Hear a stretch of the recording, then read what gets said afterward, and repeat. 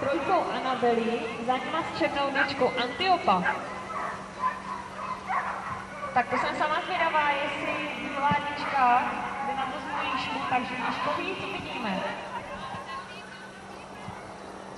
Tak to si opravdu netroufám říct, to počkám na verný rozhodčích, protože to bylo opravdu hodně natěsno.